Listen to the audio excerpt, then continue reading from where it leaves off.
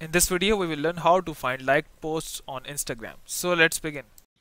So to see the post you have liked on Instagram, the process is same for Android as well as iOS devices. So you don't need to worry if you're on Android. Simply go and open your Instagram app. Here we go. So once you have opened your Instagram, make sure that you are connected with the internet. And now you simply go and tap on your account profile at the right bottom corner. So once you're here, now tap on these three lines at the right top corner.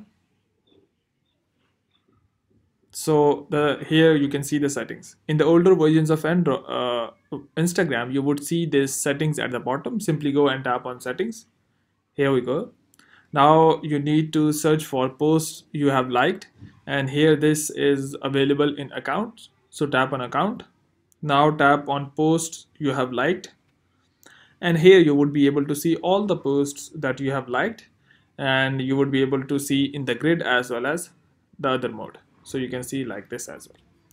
So hope it has helped you in seeing the post you have liked on instagram. But before you go please like subscribe and share. Thank you